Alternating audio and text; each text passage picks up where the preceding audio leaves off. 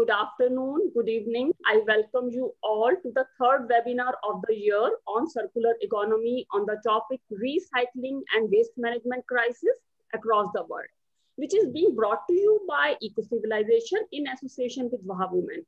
My name is Rajni Vora. I'm founder of Waha Women, and I'm feeling really honored to be joined by a renowned leader, founder, and curator of Eco-Civilization, Honorable former Deputy Prime Minister of Slovenia and EU Transport Commissioner Violeta Bulc, and also being assisted by Pina Maya as co-host. We are also having three illustrious guest speakers with us on panel who are here to share their knowledge, experience, and talk about their project and initiatives on recycling and waste management in a short while from now. Let me also share with all our viewers that we have already posted two webinars on circular economy in past two months out of the total 12 webinars of the series, which are available to watch on the website of Eco-Civilization. We are organizing this series as part of endeavors to create an awareness and sensitization drive to make a transition from take, make, use, throw mindset to something as sustainable as circular economy, wherein we intend to put across and reiterate the significance of circular economy broadly addressing why bringing up circular economy has become need of the hour and how we can proliferate this concept not only at industrial level but also at social and individual level so uh, let me kick off this interesting session by inviting Violeta Bulc ma'am to say a few words. Thank you very much, uh, Ranji, and welcome everyone to uh, this new edition of uh, Eco-Civilization Talks uh, on circular economy. Um, this is uh, one part of a larger uh, eco-civilization movement uh, which uh, is growing with uh, its users, with its members, with people who sense that there is something in the air, something new and fresh emerging.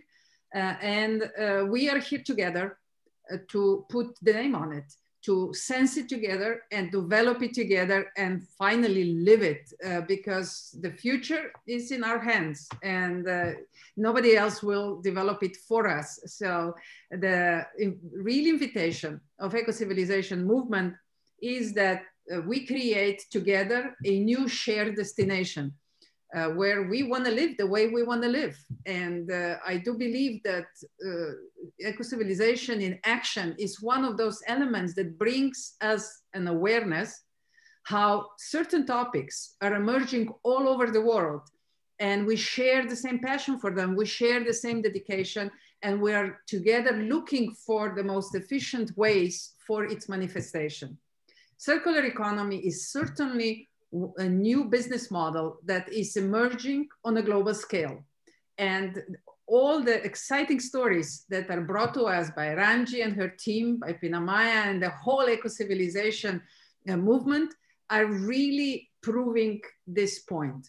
So I'm very much looking forward to three new stories uh, that will enrich our repository of positive circular economy stories that already exist on the webpage of Eco-Civilization and uh, cannot wait uh, to get inspired yet another time because every time these stories are so amazing and they show us how much we can as individuals, as teams, uh, actually deliver also on a local level. So Ranji, I'm really, really happy to be again with you here and uh, let's hear the stories.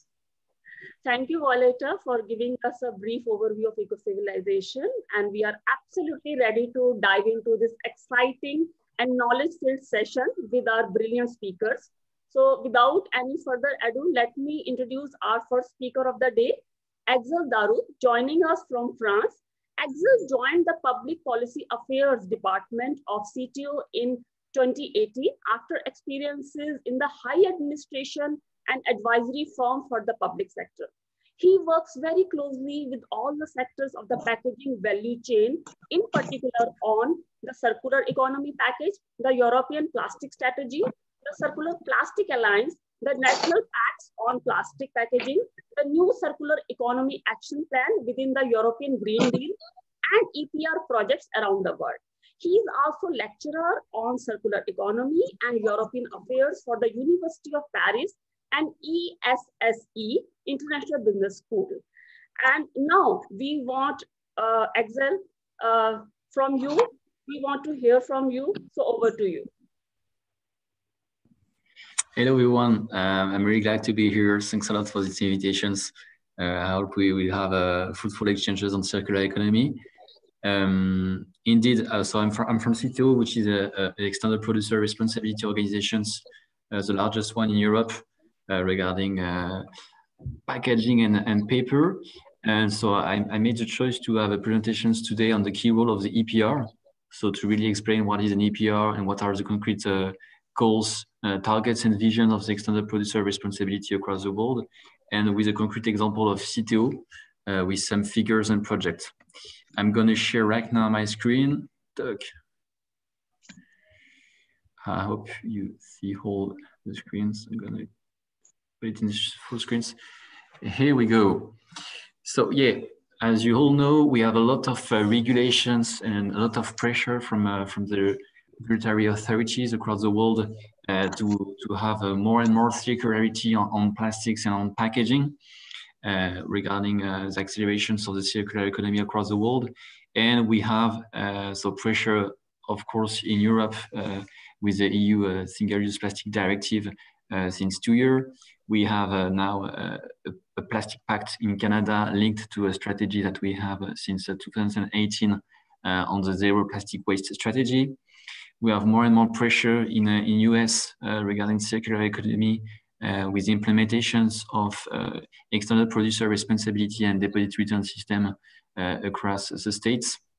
The new administrations had a lot of pressure since the beginning, so since a few weeks, to have a, a new policies on, on plastics as you know already, also we have uh, some uh, some pressure in in India, uh, specifically to to put in place some some EPRs depending of of some of the products, but mainly to accelerate the circularity of of plastics. Uh, the, the China uh, took the example of, uh, of the EU regarding the, the plastic strategy, so to ban some some plastic, but also to limit the importations of of plastics since four years, and we have now new regulations at the global level with the Bâle Conventions on the exportations of uh, plastic waste.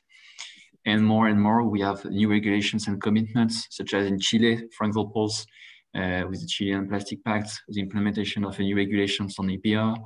Uh, we have the South African uh, Plastic Pact, also with the new regulations to put in place a new circular economy legislative framework for South Africa. And we also have uh, in New Zealand and Australia uh, now a, a, plastic pact also to accelerate the circular economy of plastics with brand owners. When you take a look of the EPR, so for example, on packaging, uh, at the beginning of the century, it was mainly uh, in Europe and, and also partly, in, uh, in Indonesia and in Japan. And nowadays, uh, we have more and more pressure to put in place EPR across the world so as you can see uh, in, this, in, this, image, uh, since three years, we had a lot of projects on EPR. Uh, and we have uh, now uh, specific resolutions uh, from the United Nations for the Environment Program that was published two years ago on the need, thanks to the Nairobi Summit, on the need to have new solutions to tackle the plastic pollutions, thanks to the EPR scheme. So how does it work, an EPR concretely? Uh, the main idea is to have uh, the, the responsibility uh, that an independent organization has to take care of um, by um, managing the life of the product. So it could be eco-design uh, missions, uh, it could be um, communication awareness raising measure, it could be R&D projects, it could be collections, uh, operations regarding the selective collections of the, the waste, to at the end of the day uh, has the waste as a new resources uh, to, to be still included within the circular economy. So you have two types of approach for, for the EPR. It could be an organizational uh, scheme, which is really, uh, uh, if I could say, operational one. So to have an end on uh, the collections of the waste um, in line with the administrative competencies of the municipalities. So it could be hand-to-hand -hand, with public-private agreement or within a specific delegations of, of the missions regarding the collections to be sure that the operators uh, will have an end on the collections, the selective collection of the waste uh, within the EPR and um, to resell the materials to get revenue from the materials and then to include uh, the new materials as a new resources uh, within uh, the circularity of the product. Or it could be a financial one, uh, which is more like, a, if I could say a bank, it's like you are, you are an independent organizations that takes the responsibility of the end life of the product but uh, uniquely uh, on, on the financial part, which means that municipalities has a key role to play uh, linked to the operators for the collections. And then the EPR will support the municipalities and the operators depending of the selective collections performance. So you have a lot of uh, ways to implement an EPR schemes. This is why um, you have a, a number of concrete examples of what is an EPR across the world, depending of uh, municipalities' competencies, uh, depending also of the regulations, of course, of the commitment of the brand owners, and on the, the key topic that uh, the government would like to address uh, and the products that they would like to address within the circular economy. So it could be pure financial, could be personal, uh, organizational, uh, with a, a, part of operational activities, or it could be a fully uh, organizational uh, with a full uh, operational missions to collect the waste and to have a selective collections process, the sorting process, and then to resell the materials to the recyclers. If we take the example at the French level, so I'm from Citeo. So Citeo was created uh, 30 years ago. It was uh, Eco Emballage before.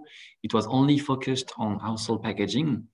And uh, we had uh, in 2007 another EP organizations for graphic papers, uh, which was Ecofolio. They merged together in 2017. And so since four years, we have uh, 30 years uh, experience EP organizations for both uh, graphic papers and household packaging with a general interest mission. And in France, we have made the choice to have a non-profit organizations. So it means that all the brand owners uh, will give uh, the, the responsibility to the EPR uh, as an independent organizations to manage the end life of the packaging and graphic papers just financially. So we have a direct contract uh, with uh, municipalities across the French territory uh, to, to collect the sorting bin and to then have um, direct resale missions to the recyclers.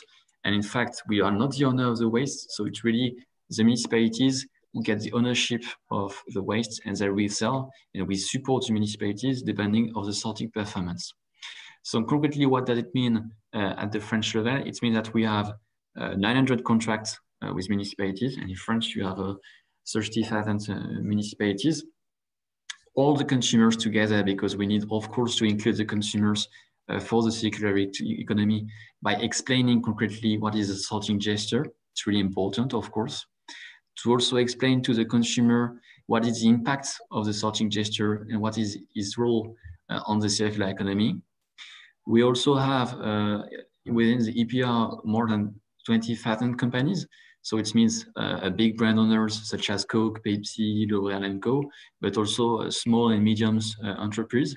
It's really important to include all the stakeholders of the value chain. And since it's mandatory to contribute uh, to the EPR, we get some few of course, free riders. So this is why you also need to, to tackle the free riders effect.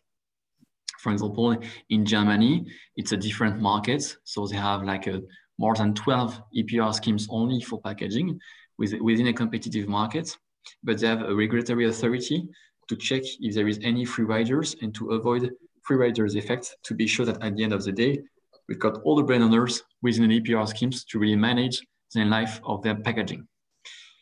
And we also linked uh, with uh, sorting and recycling operators, which are more than 500 uh, across the French territory. Um, and we get some uh, contracts, as explained to the municipalities regarding uh, the sorting and the recycling process. Um, and we get, we give finance to the municipalities, support depending on the collections performance. What about the recycling rate? So within the EU, we are trying to, to have the same methodologies. So thanks to the regulations now, we will be able to really compare uh, the figures between uh, Slovenia, Lithuania, uh, Germany, Spain, Portugal, uh, France on the recycling performance. Uh, because nowadays we have four methodologies, so it's quite insane. It's not possible to compare uh, um, from, from a transparent and current way all the data. So the idea is that we will be able to compare uh, all the data by the beginning of 2023, uh, thanks to the European Commission that we'll be able uh, to aggregate all the data with the new methodologies um, based on the 2020 uh, data.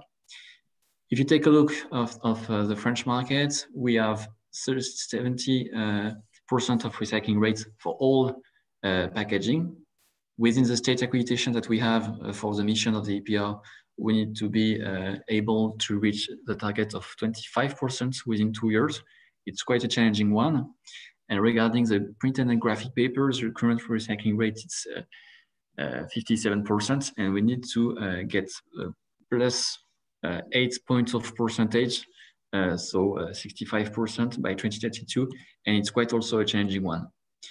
When you take a look exactly on the figures, depending on the materials, as you all know, we have a big challenges regarding plastics. What does it mean for plastics? It means that we need to have all the solutions for the plastic packaging. So in fact, we have polymers uh, depending of the product that are fully recyclable, and we have other ones that are not recyclable at all. So we have a, a key challenge on the collections. So to be sure that we collect all the plastic packaging, the ones that are fully recyclable and the ones that are not, to be sure we can launch energy projects uh, specifically for PET trays, for example, that are not plastic bottles, or uh, PS, such as, for example, PS yogurt pots in, in France, for example, we are a big lovers of uh, milk products. And so we have a lot of HDPE uh, milk bottles, but also PS yogurt pots. And for the PS yogurt pots, we don't have available uh, recycling uh, facility scheme uh, so we need to uh, put in place a new recycling facility for PS. So we need to find a, a good solutions. This is why we have launched already projects on PS. Just to give you an idea of uh, what is the concrete contributions of our brand owners uh, to an EPR. Um, so the main contributions to an EPR will be for municipalities with a, a, scheme such as ours uh, for Citeo which is, as I, as I already said, a non-profit activity. We are uh, in a monopolistic situation, so we are the only EPR uh, for household packaging and graphic papers in the French market. And so you can see that more than 70% uh, of the budget will be direct uh, for municipalities. So depending on the sorting performance. What do we have uh, for the other part of the budget? So R&D and eco-design projects. So really to explain to the consumer, to the brand owners, um, the good eco-design actions and practices, uh, depending of the of the materials and the packaging that they have in the market. So, for example, to switch from a multi-layered to a mono-material packaging, uh, to get a switch from a plastic to another uh, packaging and materials, so we need to have a concrete LCA, so life cycle analysis approach, uh, based on, of course, uh, carbon impact and nowadays biodiversity impact. And it's quite important for me that now we need to have a link uh, between, of course, uh, circular economy and uh, the environmental targets. But by saying environmental targets, I mean carbon impact and also biodiversity impact. More and more, the biodiversity is really linked to the circular economy, thanks to the save of uh, natural resources, but also to tackle uh, the littering. So within the LCA, what could be interesting is to know what could be uh, the potential of the, of the packagings to be littered, but also what could be the environmental benefits uh, from a single-use packaging to a multiple use, depending of the area, of the scale, uh, depending of the material. Uh, and also to know exactly the environmental impact, so carbon and biodiversity, on the material shift from a, from a packaging to another. We also have for the budget, so quality and operations, which are mainly uh, the audit process. So when you have uh, the materials that is under the sorting uh, process, need to be sure of the quality. So we have independent audits regarding the quality of the materials to be sure that we, okay, we, we give the finance to the municipalities depending on the sorting performance. And then we need to be sure of uh, the quality that will be um, for the materials to be resale to the recyclers. And the municipalities will get value from the resale of the materials, of course. And we also have a, a, a good part of the budget, which is for uh, raising awareness uh, campaigns to the consumer. So as I mentioned, to really explain, okay, this sorting gesture has a key role to play regarding the circular economy because you save natural resources thanks to the biodiversity impact. You save um, CO2 impact uh, because these uh, new materials will be uh, for a new uh, product instead of, uh, of being uh, for the energy recovery process, for example. The main focus today to, to really to re increase the figures, it's on cities and plastics. So why cities? Because we need to densify the collection points. So specifically for glass, for example, in France, uh, you mainly, so the scheme is not really the same regarding the collections. It really depends on the municipalities, but mainly it's uh, glass packaging uh, in a specific uh, sorting bin. All the other um, packaging and the graphic paper in the same bin. Sometimes it's different. It could be glass packaging in a bin, uh, fiber-based packaging in another one, and non-fiber based in a third one. And then, of course, residual waste bin. Nowadays, we need to really accelerate uh, the figures and the collections rate on, uh, on glass. So this is why we need to densify collection points.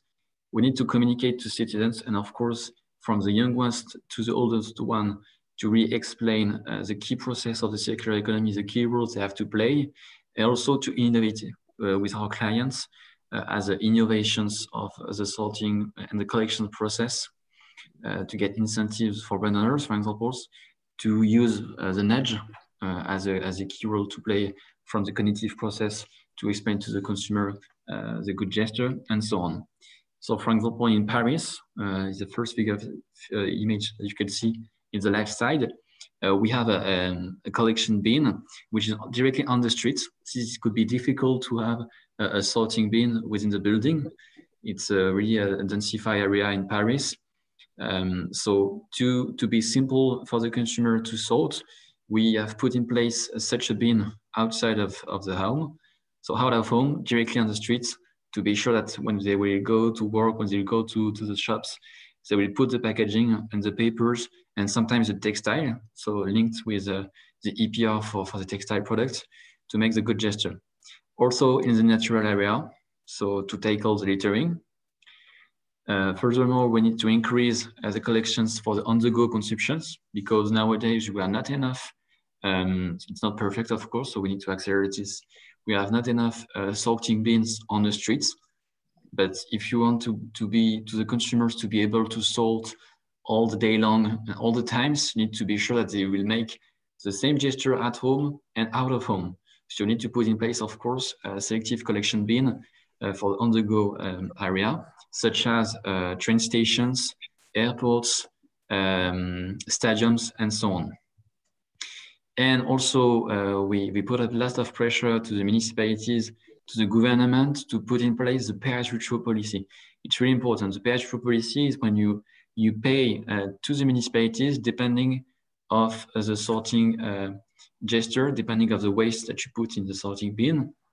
So more waste that you put uh, in the sorting bin, less you put in the residual bin. Of course, when you make the good gesture, and less you will have to pay the, the, municipalities. So less uh, waste you have in the residual bin, less uh, less um, budget you will have to pay to the municipalities. Regarding plastic, and I will uh, finish on that, we need to double the recycling rate for plastics, of course. So as you can, as you saw just before, uh, the figures are 29% uh, of the plastic packaging uh, as a recycling rate. It's not enough. We need to reach a target of 50% by 2025 at the European stage and 55% by 2030. So we really need to accelerate the circularity of plastics. What does it mean? Uh, in concrete actions uh, as an EPR organizations, it means to collect all the plastic packaging by extending the sorting instructions, uh, for all plastic packaging, so by the end of 2022, to create a positive drive effect for all materials by explaining to the consumer to sort everything. and by modernizing sorting sectors um, to, to be sure that we are all the plastic waste that will be, uh, plastic packaging waste that will be um, really sort within the sorting gesture. So it really splits into different categories, depending of the product, depending of the polymers. So the debate on plastic, as you know, we have uh, uh, four challenges, which is the low recycling rate, the pressure from the regulatory and authorities side, the high, high contributions to the carbon impact in some sectors, and also, uh, of course, the biodiversity impact if some packaging are littered, and the health concerns, specifically on microplastics. This is why the European Commission would like to tackle the intentional and non-intentional um, microplastics that are in the products, for example. So we have made the choice here in France to, um, to ask to the consumers to sort all the plastic packaging within the same bin. So before it was only focused on uh, so, some bottles, flacons and bottles. Now we have to put uh, in the sorting bin plastic bags, uh, cosmetic products, so specifically plastic uh, cosmetic product, of course, yogurt pot, flexibles and wrappers. Uh, why? Because we would like to get uh, a spillover effect for all packagings to be sure that uh, the citizens will not ask every time the questions, okay, do I need to put this plastic packaging into the sorting bin or not? Then to uh, launch R&D projects, so specifically for uh, polymers and whether that we don't have any uh, recycling uh, scheme. And at the, at the end of the day, to get 100% solutions for all uh, plastic packaging. I'm not going into much details on this because we could talk about it three hours, but just to give you an idea from the operational point of view, that now EPR put in place eco-modulations. What does it mean? It means that we ask two brand owners uh, within a bonus and malus system, like incentives. So they, they have the obligations to pay for the management of the end life of their product and specifically for packaging here. Uh, and we, we, we put in place eco-modulations of the fee to the EPR.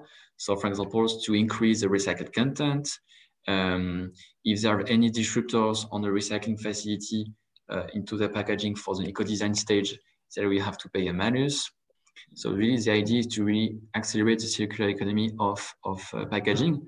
And now that we have uh, in France with a new law, a new circular economy that was published last year, we need, for example, for Citeo uh, to reach targets on reusable packaging, which are 5% uh, by 2023 and 10% by 2027.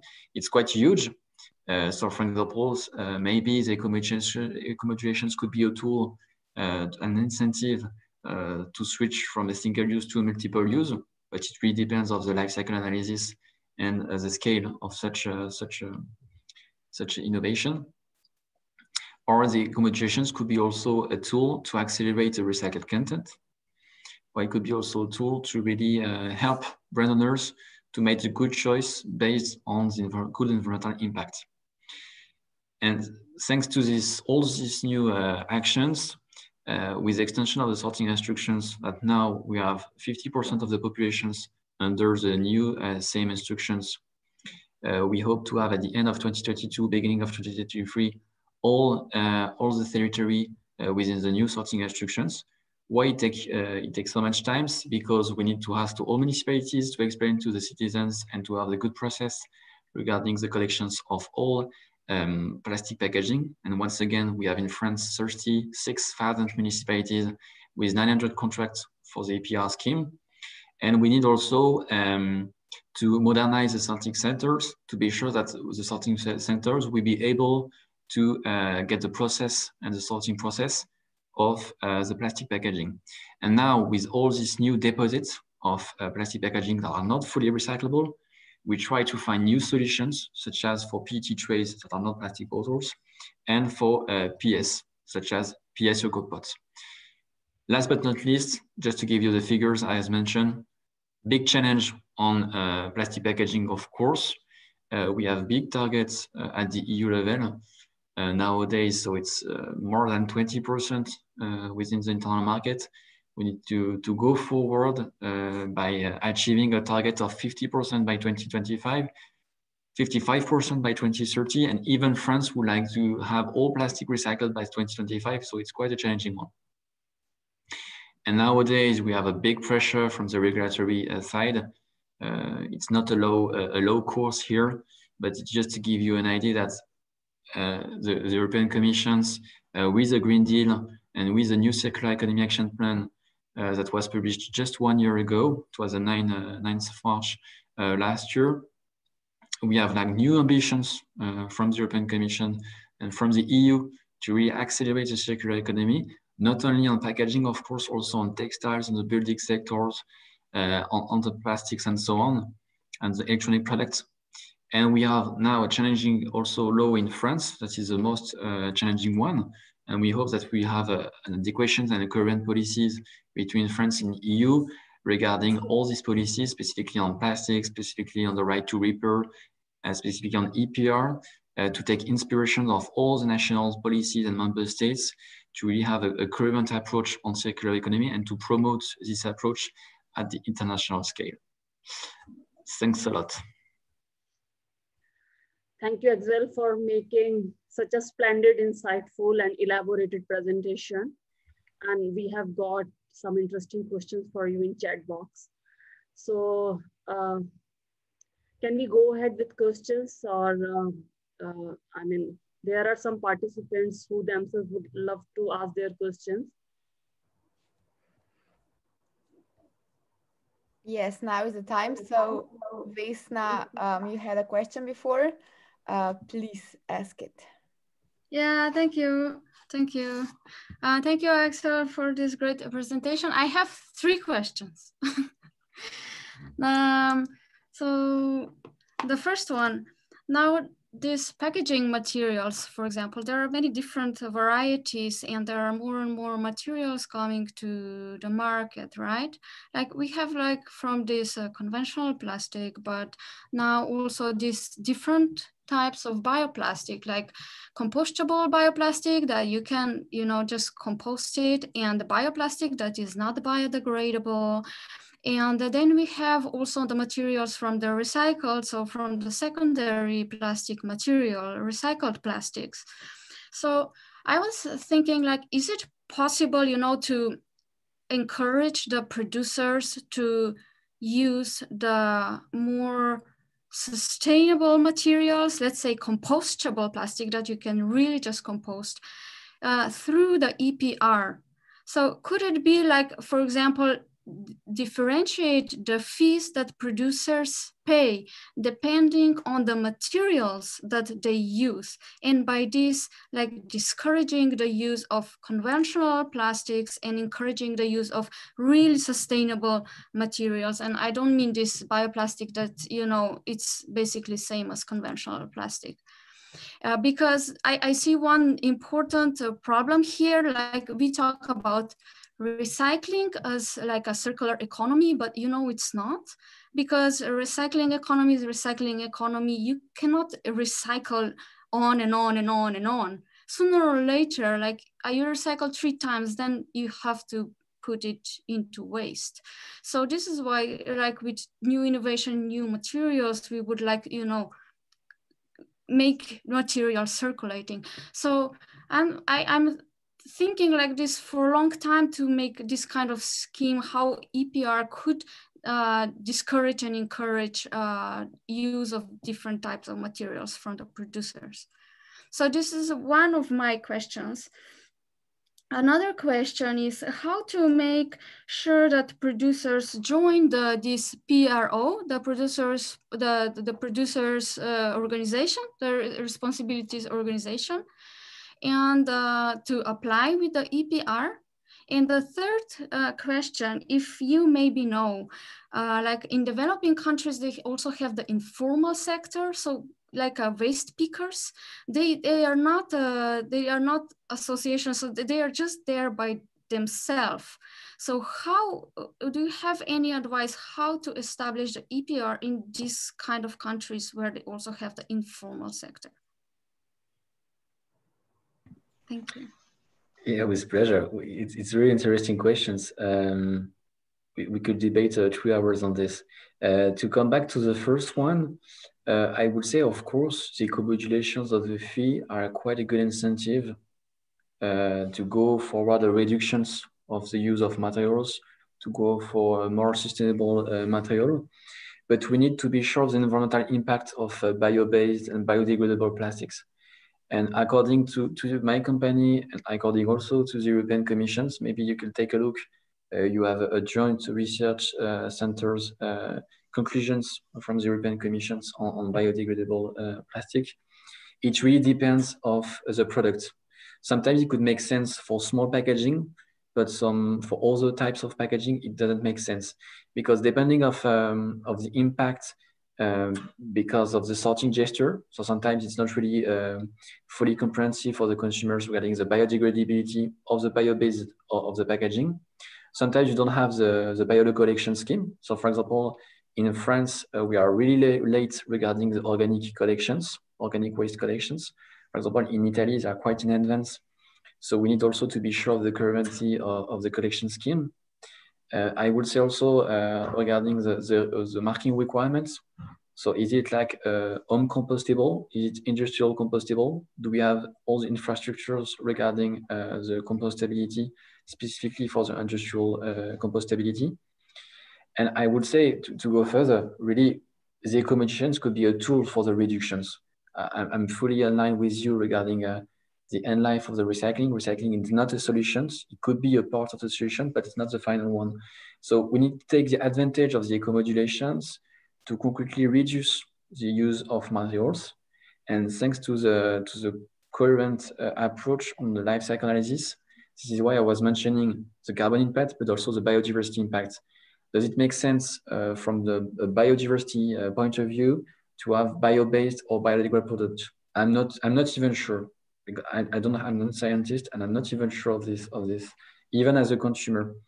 And this is why the European Commission is currently working on minimum requirements on EPR and on the eco-modulations. And we are supposed to have a, a, new guidelines on this and to really give a clear view at the European level to have the same current principle on eco-modulations across Europe uh, regarding EPR and to put in place eco-modulations. And it makes a link with your second questions. So uh, with these uh, guidelines, we will also be able uh, to, to really uh, share good practices about uh, the contributions to the EPR. For example, in France, so it's mandatory to contribute to the EPR. And if you are a free rider, it will be the administrations that will give you a fine if you didn't contribute to the EPR. In Germany, you have regulatory authorities that manage the contributions of uh, the EPR schemes, and that will give you also fines if you don't contribute to one of the 12 EPR organizations for packaging. So in my point of view, it needs to be, uh, of course, monetary and then to have a regulatory power, but that not has to be in the hands of the EPR. It's really the administrations that needs to, to get the power of, of the fine and not the EPR. We don't have any regulatory power, and, and thanks to the organizations, because it's a private organizations. And for the third questions, uh, sorry, I didn't remember. About the informal sector waste. Ah, yes, yes, about the informal sector. Yeah, of course. Um, so I have to work uh, with, uh, for example, uh, the Vietnamese uh, Ministry of Environment or uh, with, with, South Africa recently. it's not it's not the same at all. We, we couldn't say, okay, as an accidental point of view, let's do like Europe by implementing an EPR without any uh, the same uh, scheme of uh, organizations of the economy. So I think, of course, when you put in place an EPR, you need, of course, to include the informal economy. This is why when you take the example of PETCO, which is the EPR for, for PET, for PET bottles in, in South Africa, uh, from the beginning, they have included the waste pickers and the informal economy within the system to be sure that there is a currency between uh, the recyclers, the operators, and of course the, the waste pickers in the informal economy, and to be sure that we we all have everyone in the loop.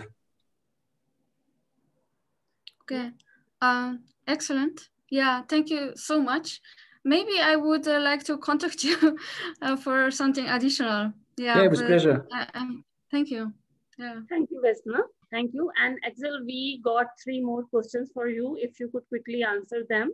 So uh, first question is, is EPR a French invention? Who set the accreditation process? Who is issuing accreditation?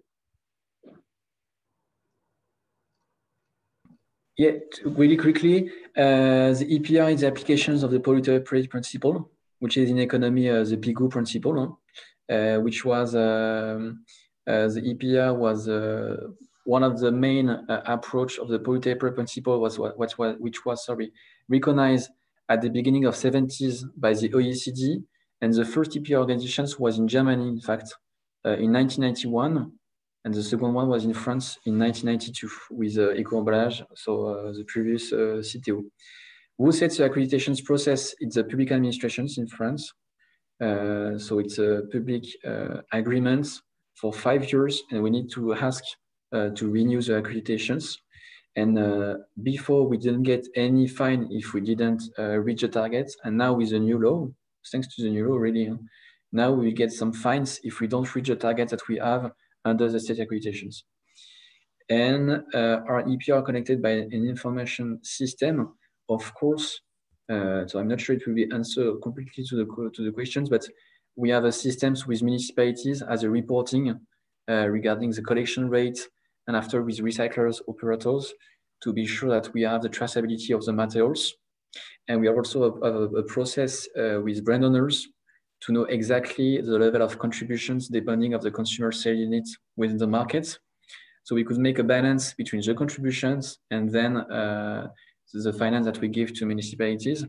And we, we share the data to the environmental agency at the French level. And then the environmental agency will share the data to European Commission, of course, to get aggregate uh, data.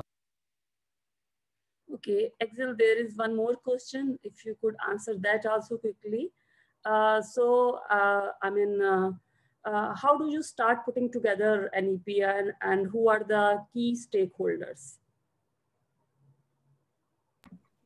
Uh, how do you start putting together an EPR? It could be a, a, voluntary commitment. For example, at the beginning in Vietnam, it was a voluntary commitment, such as uh, in France, at, at, the really beginning, it was a voluntary commitment from industries, uh, specifically with Danone. Uh, and then the regulatory uh, side uh, appeared, appeared to have common accreditations. So it could be within the regulations.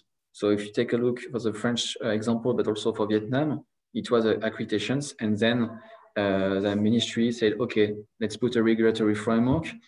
And as I explained to, uh, to the Vietnamese government, from my point of view, it's better to include all the packagings together when you start an EPR Otherwise, it will be a mess to include all the materials because you have like competitivity between materials, of course. Uh, you don't have at the same level of, uh, of the price of the materials. When you get a shift from a materials to another one, it will be a mess. So to be sure to include all the sectors and all the materials, and also to be sure of the, of the scope of your costs. Is it only uh, for the end life of the packaging or is it only also for littering?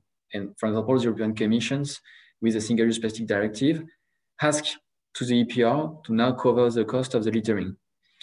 So by including this cost, we need also to be sure of uh, the coordinations with municipalities and to be sure of the coordinations for the contributions to get real incentives for brand owners. Okay, thank you so much. And uh, I mean, finally, I mean, just one more question. If EPR is connected with information technology, information systems, I'm sorry but he already uh, replied that. I'm happy. Okay, Thank okay. I'm sorry if you have covered yes. it. Thanks a lot. Thank you so much. Thank you so much, Axel. Thanks to you. For being with us. And if possible, you stay with us till the end of the program. We would appreciate it. Thank okay, you. well noted. Thanks a lot. So let's move on to our next uh, segment of uh, the program. As they say that in nature, there is no such thing as waste.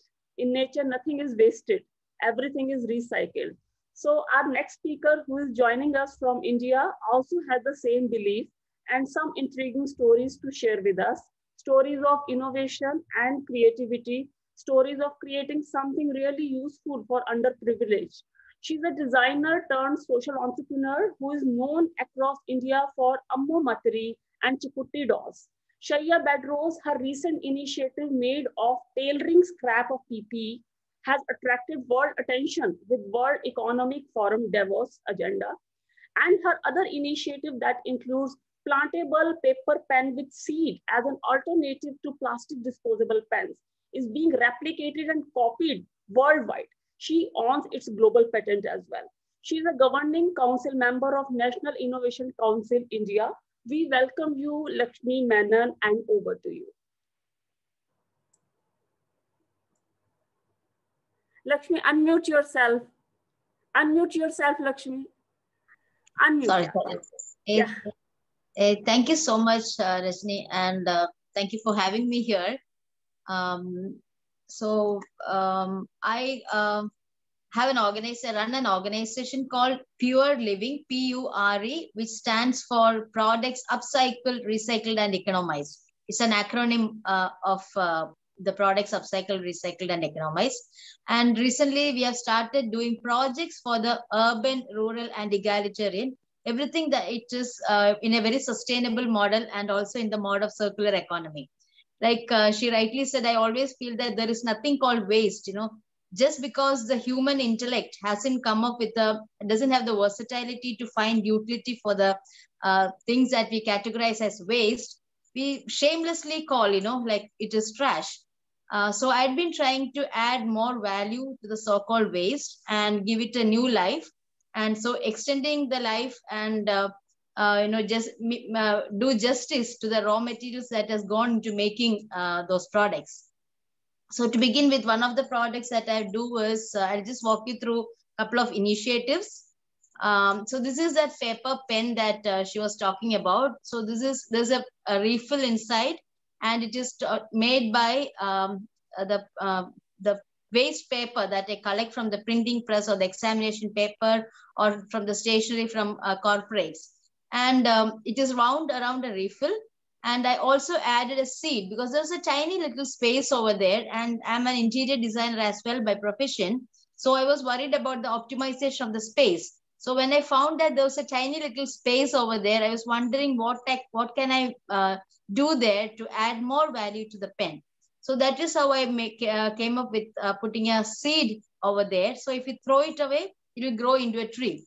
Uh, so every pen, um, it has a paper cap uh, and a write-up saying that, you know, the need uh, for such a pen because the value of a tree is almost 36 lakh rupees if you actually put value on the oxygen that it gives, the, uh, the soil erosion it prevents, the microorganisms that it uh, helps uh, in sustaining, and so many other things. So uh, the simple fact that, you know, nature doesn't need people, it's the people who need nature that brought me to kind of, you know, invent something like this. Um, because I always say that, you know, man has traveled through ice age, stone age, metal age to finally, finally reach garbage. So we are in the garb age now.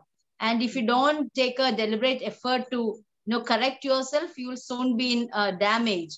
So that is one of the uh, reasons why I kind of came up with this pen. And um, another project, and so this is uh, project is supporting uh, uh, people who are paraplegics, a lot of women, because there is a very little uh, skill that is needed to make this.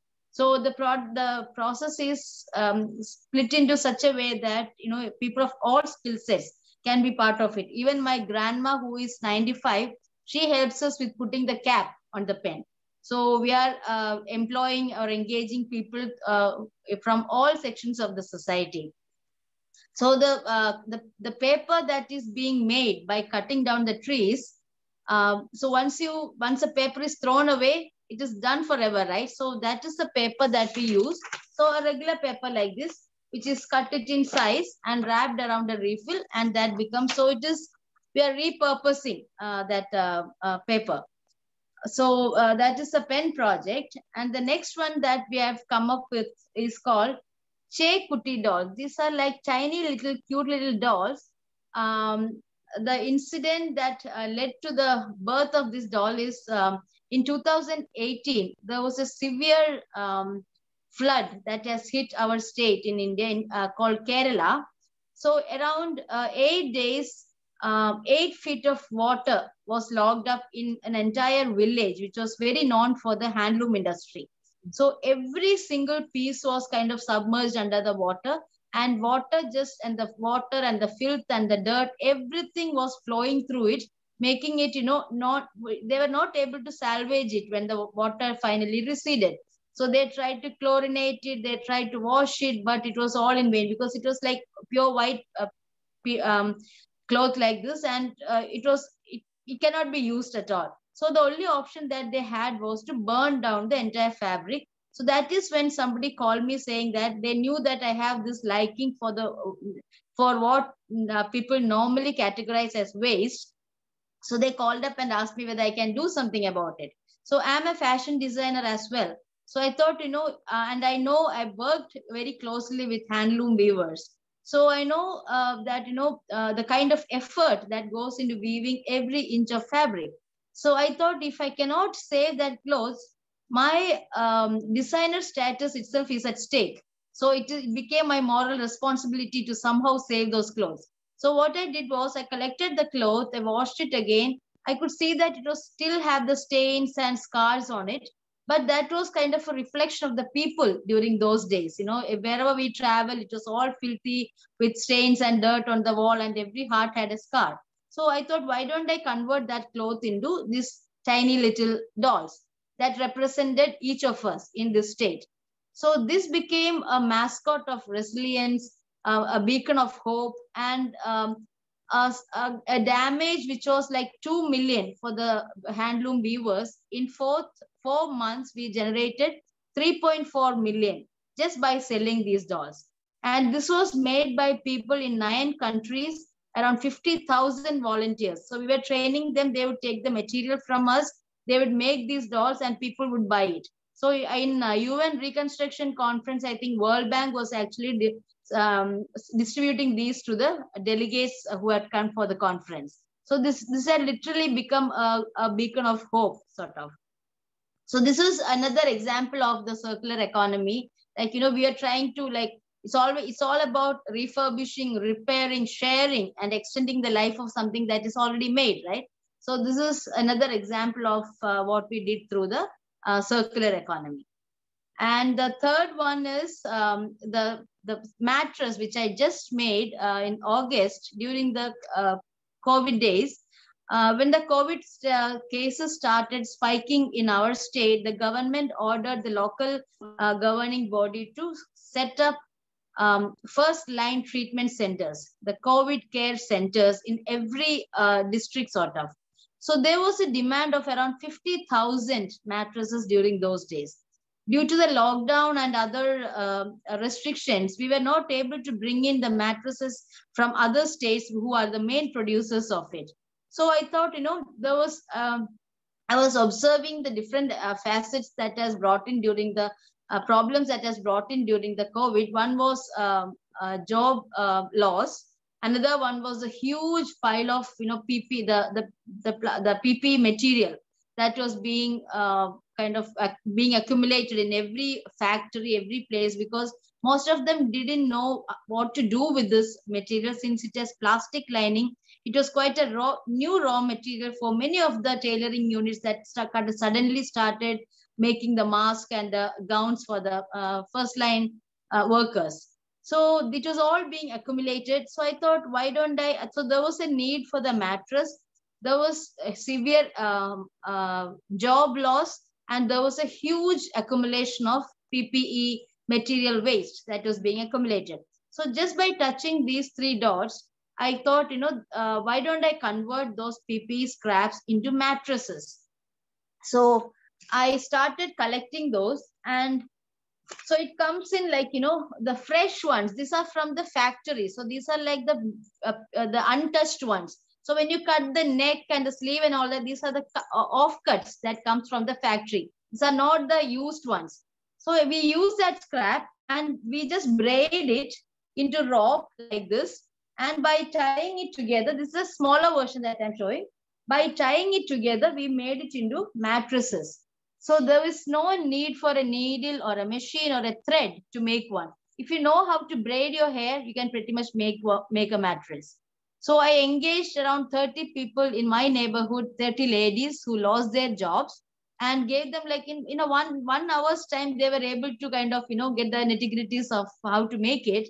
So um, they were making it and in um, we have used up almost 9,000 kilos of uh, these uh, uh, offcuts in four months. And this is being donated to the uh, COVID care centers uh, because government had given an instruction to the local uh, governing bodies that once a patient leaves, you have to burn that mattresses so that you know the uh, uh, COVID is not spread. Uh, so this one, since it has a plastic coating in it, you could actually literally soak it in uh, soap water and it will be 100% sanitized. So you can actually reuse it. And this, this is also, we are also now being, we are distributing it to the tribal community, the homeless people. So this is a model. So the multiple uh, impact that it has brought in is that it has given job for many people who lost their job. It is upcycling the PPEs, the offcuts, and also providing a very important commodity at a very, very low cost. You know, only the labor charge is what we had to give because the raw material almost came for free. So we had been extensively now giving it to uh, homeless people, tribal community, and anybody who would need a mattress because I feel that a good night's sleep is a basic right of every human being. And now we are giving online training to people in different areas. And we have a website where we have given the demo videos of this so that anybody in the world can copy it, they can replicate it and scale it up. So uh, in, if, if, instead of this PPE scrap, you can also use the tailoring waste, the tailoring scrap from the uh, tailoring shops as well, in case if there is difficulty in finding the PPE material. So uh, any any used material can be actually converted into, I mean, fabric can be converted into making this. Um, so this is what made it to the Davos agenda in the World Economic Forum this year. So through that, many countries have approached us and we had been giving, you know, instructions and uh, guidance to make it. So those are, these are one, like the three uh, most popular uh, projects that I had been doing in the mode of circular economy. Uh, using the things that normally people categorize as waste. So I, I've just coined a word called TUF, T-U-F, which means still a utility is found. You know, you cannot just call something waste just because you have you have not come up with an idea for that, come up with an utility for that. So let's let's not call something waste. Let us call it tough. It is tough to find a utility, but it ultimately somebody will come up with a, a, a good use of that. So that's it amazing, amazing presentation, Lakshmi. Uh, and seriously, I mean, it's really impressive the way you have come up with these new ideas and, you know, I, I think everything, your all innovation, your creativity, your work toward the society is applaudable. So thank, thank you so much. And uh, we have few questions for you, but the first question uh, I have for you. And uh, because I know Indian domestic market. So I want to understand from you, what hurdles, what challenges did you face while promoting these products in domestic market? Also, did you try promoting these products in international market as well? Uh, yes, actually, when it comes to the pen, that was uh, quite a that was like uh, six years back it was completely a new product. Uh, nobody had seen it, nobody has used it. So when we say paper pen, they were completely confused about, you know, the sturdiness of it, you know, um, how strong it is, can we actually hold it, will it bend off, you know, things like that. Uh, so until uh, they had one on the, one in their hand, they were kind of very, uh, I mean, you know, unsure about it. Um, and there were like so many other questions i think they got so used to using that plastic so they were very keen in finding a fault also for since we are uh, presenting a introducing a new product right so uh, initially it was a bit tough but i think people gradually understood the importance of you know the sustainability and the need for um, changing our habits to using more of such products for our own good. Um, so it was not a very easy journey in the beginning but now we have like very big corporates who have become our csr partners and they had been using this just these pens in every of, office of theirs because when it comes to the carbon auditing it's almost zero uh, in that factor in that uh, aspect. So we had been getting very good support now. Internationally i think many are making because uh, th there are so many videos and i've been seeing it in amazon and other places where people are making it. So i am so glad that you know it is spreading wide and it's actually bringing more uh, uh, giving a livelihood to many people who are in wheelchair who are paraplegics because if they can move their fingers they can pretty much make these pens and Mhm. you'll always have demand for pens especially in a country like india with so many people uh, it's a good market so i have not actually ventured to give it out uh, in, in the international market i'm happy with the customers in india itself Thank you so much, Lakshmi. And we would request all participants, if they have any question for Lakshmi Menon, please do ask.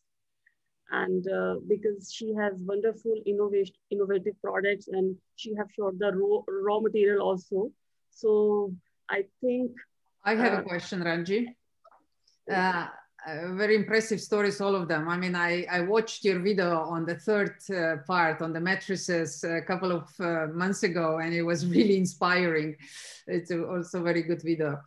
Um, I wanted to ask how difficult or how easy it is to scale uh, projects like that. So scalability of projects and also, but uh, another uh, completely uh, different point, um, how much opportunities now do you have to inspire other young entrepreneurs and startups uh, to see that small projects can matter and small projects can get big, um, even like a little seed in, in a pan, you know. But uh, you are just a really good example how um, small stories can really make a big difference. So, on one hand, how can how how do you find a way to inspire others to show that they everybody can contribute to circular economy and change the world? And on the other hand, uh, how do you manage scalability? I think um, the crisis makes the unthinkable inevitable, right? We have to come up with some kind of a solution when we are hit like hit with you know situations like this. Even while making that pen, we're already very late. We are already on the verge of you know a, a big uh, danger. So such initiatives had to be, such products have to be invented, and I think the response was very good because people had been looking for avenues through which they could also switch over to greener living. They didn't know how. So when you give them a product or a platform to do that, they would immediately, you know, kind of follow the um, uh, path and uh, uh, they joined the the in- the the entire the movement.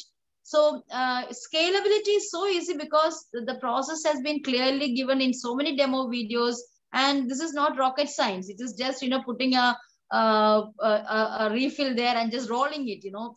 Um, So basically, like- what you're saying is that your promotion helped you to scale. So it was a good uh, video promotion and social uh, uh, Yeah.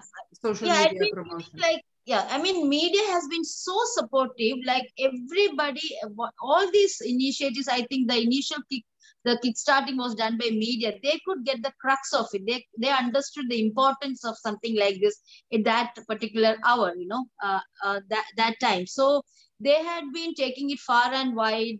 So I think the uniqueness of the idea, uh, if there is a, you know, it's a very powerful, unique idea, then uh, the rest happens on its own actually.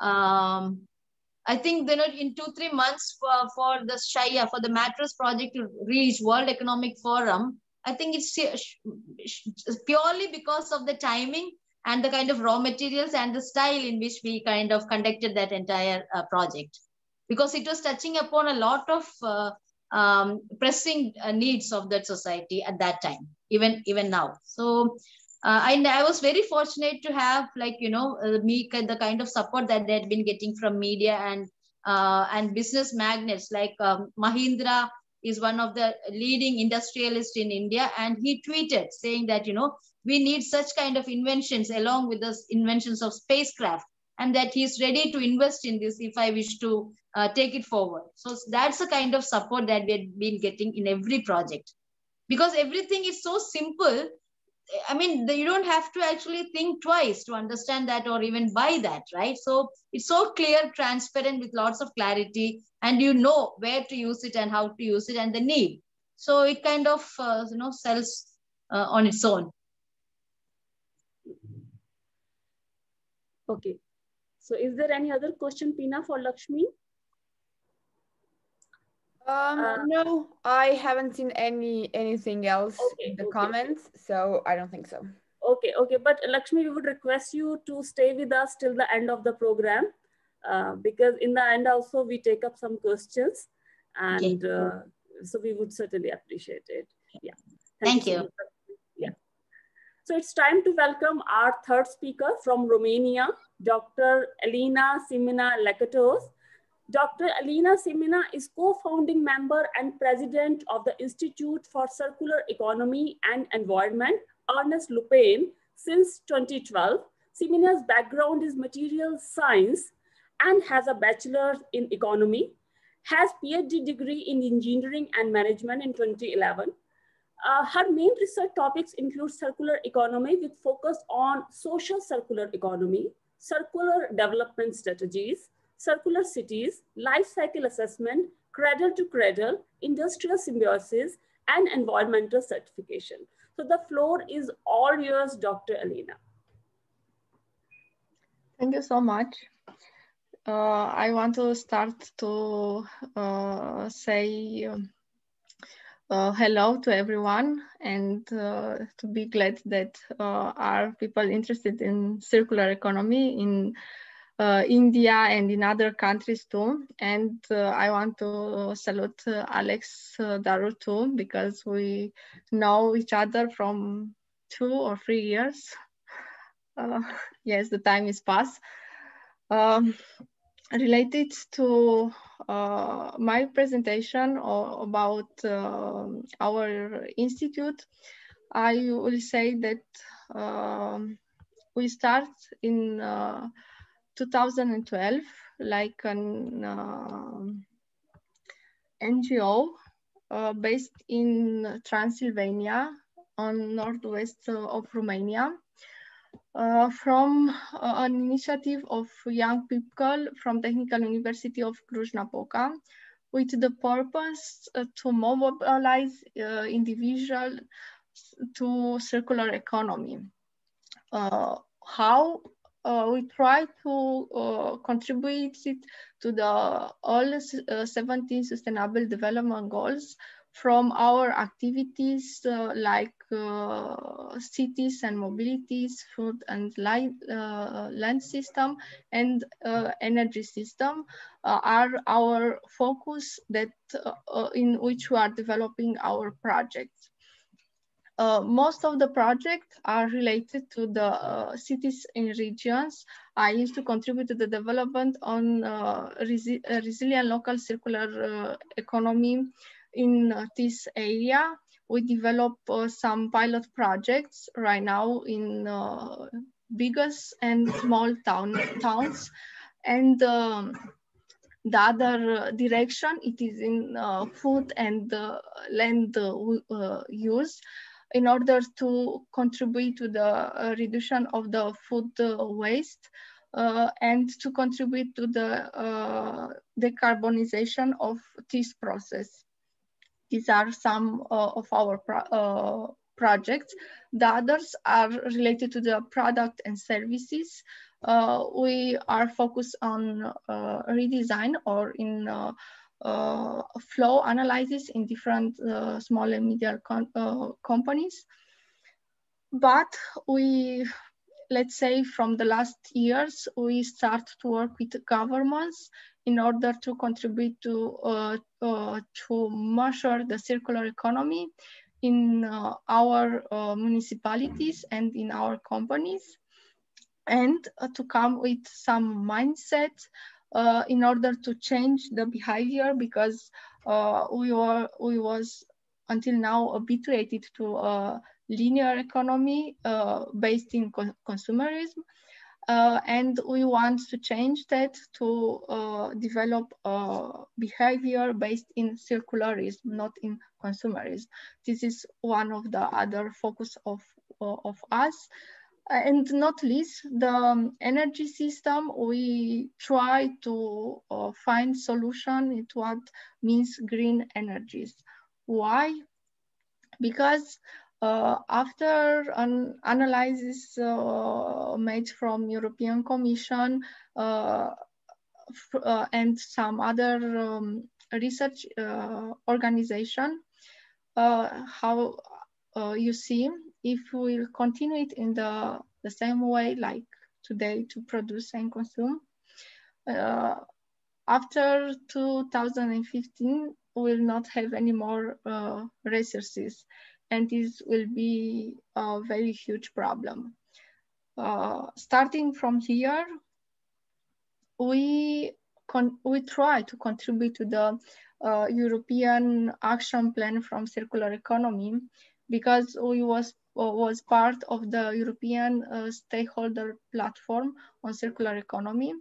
And uh, our attribution in this platform, it was to facilitate the transition to circular economy in our country, in Romania, and to find and help to uh, business models uh, in circular economy project or other actions uh, that have the uh, mm, circular economy like a purpose.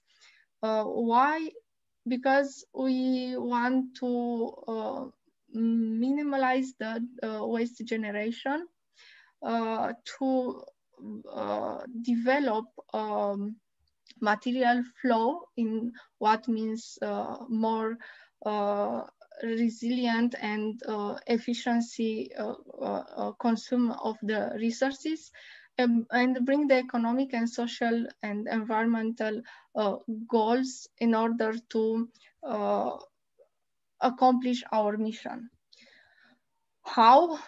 Uh, we are, let's say, use the Ellen MacArthur butterfly where we added the 17 sustainable development goals in order to uh, to create uh, our focus uh, around the people because the, the human uh, people, it is in the middle and around uh, of him is the uh, biosphere and technosphere uh, in order to develop projects in this way, having in mind the reuse, reduce, re cycle and uh, share and so on. That means the technical sphere and uh, producing uh, bios, uh, biogas, uh, biochemical uh, processes or regeneration in order to create a more sustainable environment for, for us.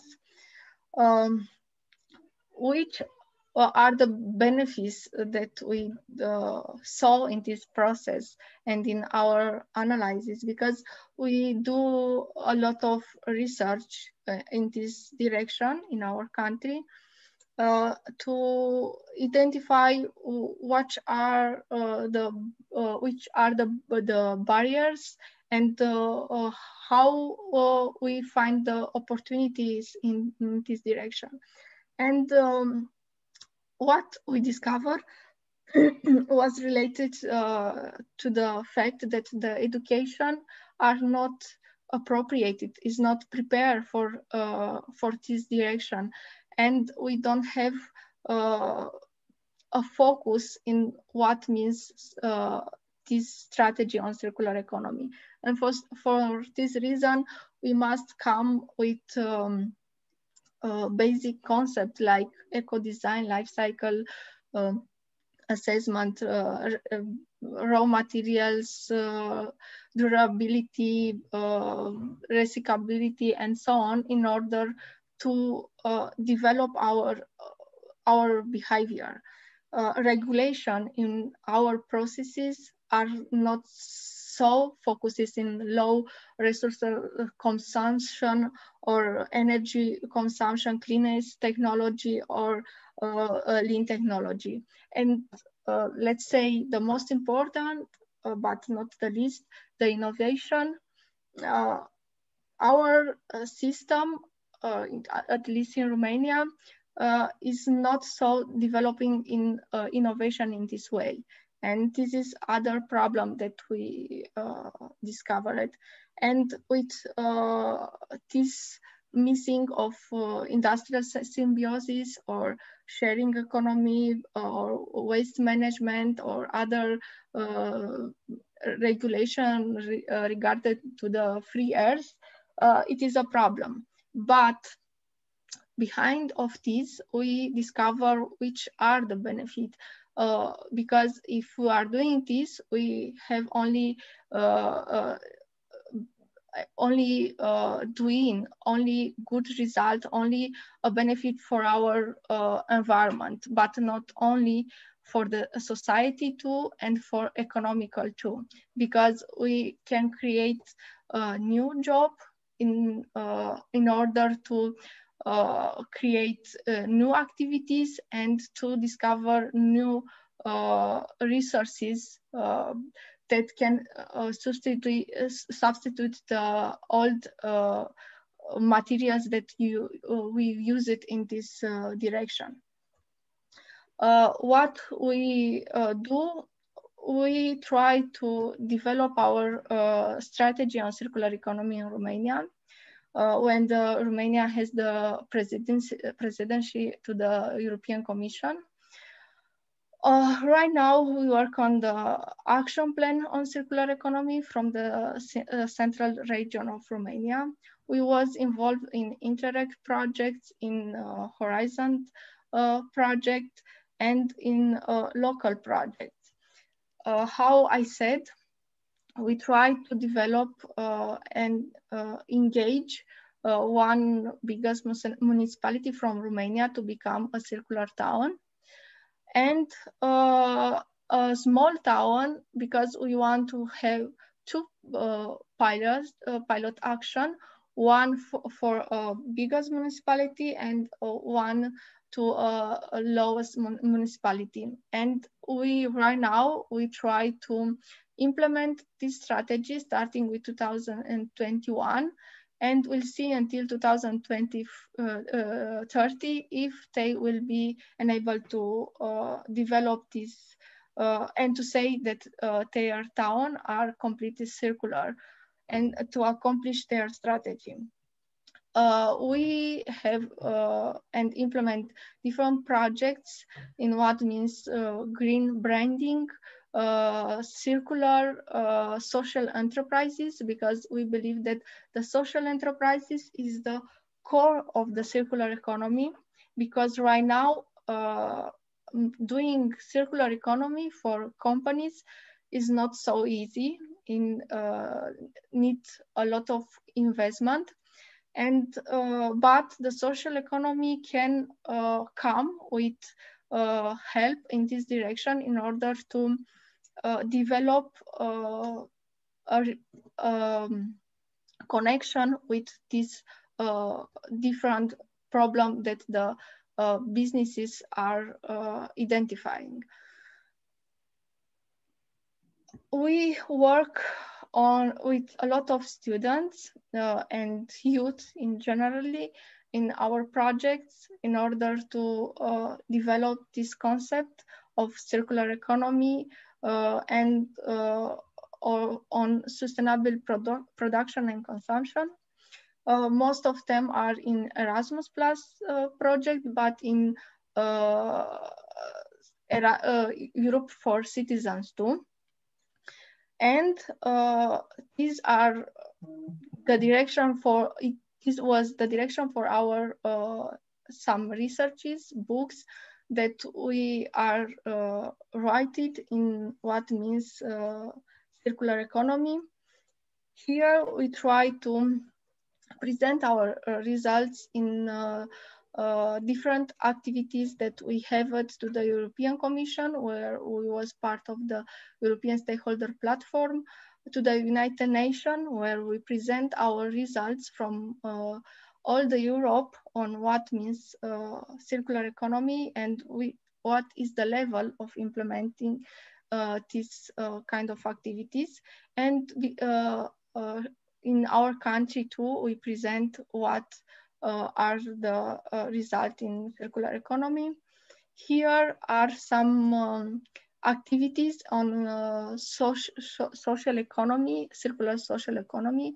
We try to develop uh, different activities in plastic uh, uh, waste to reduce the plastic in order to reduce the textile impact, to reduce the uh, food waste. We develop uh, and we are part of the food waste bank. And right now we have a federation of food waste bank in Romania in order to reduce the impact of the food waste in our country. Um, we try to uh, to focus uh, right now in uh, these two aspects because the food uh, and the the textiles are the most uh, let's say with highest impact of pollution in Europe, but but in our country too. These are some activities in uh, recycling uh, uh, electronics and, and electrocosmics, plastics, wood, and uh, other materials that we uh, tried to use it in different uh, projects that we have it. of course, in collaboration with different companies where we have the possibility to implement our, uh, let's say, principles in what means uh, circular economy in Romania. Thank you uh, so much. That it was my presentation. if are questions, I'm yours. Thank you so much, uh, Dr. Elena. We really appreciate your presentation and the effort you have put in to make uh, such an in, uh, such an incredibly informative and interesting presentation. So I have a question for you. Uh, since uh, you have shown one slide where you mentioned, uh, you know, circular economy and recycling generating new employment and new employment opportunities. So how much role of circular economy do you see from the perspective of generating employment in Romania? Right now, uh, we, we try to prepare us for the next uh, financial exercise uh, that are coming from the European Com uh, Commission from 2021-2027. It is a new plan from the uh, resilience from the European Commission. And we try to develop uh, some direction from the uh, from the environment minister in order to uh, create a legislation because right now we have a legislation in what means uh, waste management but it's not very well implemented or uh, are some lack in what means um, some uh, aspects in uh, in different kind of materials in collection. And uh, we try to see if we can change the legislation because if you right now uh, how i said we work on the to on the romanian strategy on circular economy to be uh, approved. And if this will be approved we have uh, the possibility to change a little bit the legislation in order to come with proposal uh, from developing new ways of, uh, from uh, collection uh, the waste. And in this way we'll have the possibility to develop and to create new jobs in this direction. We have in this moment projects that are that, uh, that are uh, developing circular economy and that are implementing these principles, but are some few in Romania, not so many. And uh, for this reason, we, we try it to develop this strategy in order to uh, come with some direction and to contribute maybe if it will be possible uh, to, to um, create these new jobs in circular economy. Thank you so much, uh, Dr. Elena. And looks like uh, we have uh, one question for, uh, I think for uh, Lakshmi. Is, is, I think there was a question, yeah. So, uh, and once again, we request all participants, if they have got any question, please do mention in chat box. because we have finished our last final presentation also. So it's time to take up questions. So there's a question for Lakshmi Menon and uh, looks like the question is from India. So uh, The question is, what advice will you give someone who has an idea to reduce the waste and recycle the material, but have no resources, including people, money, infrastructure? Which is the first point to start from? Um, have absolute uh, clarity on what you wish to do with that uh, project um, end to end, you know. Um, and you, there are so many uh, organizations um, support by supported by government, and also there are so much of so, uh, uh, corporate social responsibility funds, CSR funds that is floating around. So they are all looking for platforms or ideas or innovations with which they can associate to. So, uh, but the only thing is that you have to have utmost clarity on what you actually wish to do with it and develop a prototype so that, you know, is somebody, something that can be tangible, somebody, something that can even actually see, you know, they can touch and hold.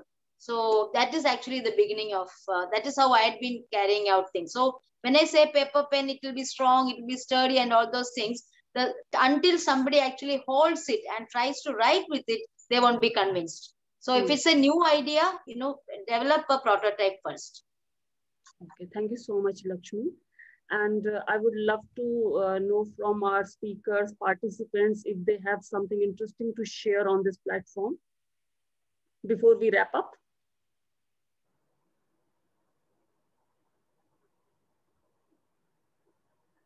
Okay, okay. So uh, with this, uh, we come to the end of our session. Uh, we thank you all speakers for, uh, for bringing their expertise and experience through this session and making it so engaging, fruitful, and constructive. And we have had open exchanges of information thought processes also. So we also thank our participants for their active participation, interest, and time. We are coming up with yet another exciting webinar on April 12th. So save the date. And uh, please keep visiting www.ecocivilization.eu for further events and their details. So thank you again for joining us today and we will see you next time.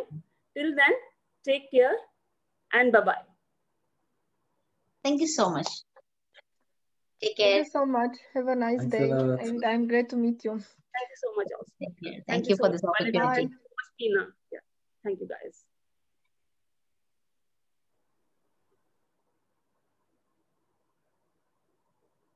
Bye-bye. We can leave, right? yes, please, please, yeah. please. Thank you. Bye-bye.